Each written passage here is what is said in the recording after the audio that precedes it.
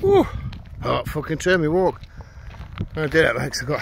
I can't do editing. So.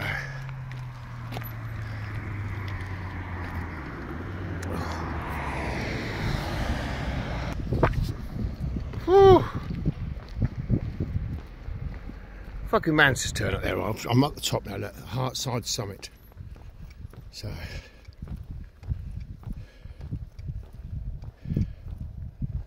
Raid the Pennines, checkpoint Hartside code 842. That was a fucking good walk that. Oh, let's find a taxi. That. Yeah, look.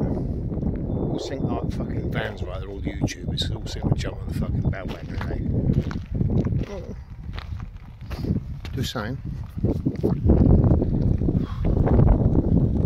Oh, that was fuck off and alive. Lonely. Get over it. Come. Oh, yes. I've driven up here many times, but I walked it beginning of the year actually. Not all the way, so I've probably done about it's probably about four miles from my car, so that's only about eight miles. So yeah. Outside summit. Walk actually. It's not that windy up here as normally is. It's normally fucking blowing a hoolie. Yeah. That was a good walk. Very nice.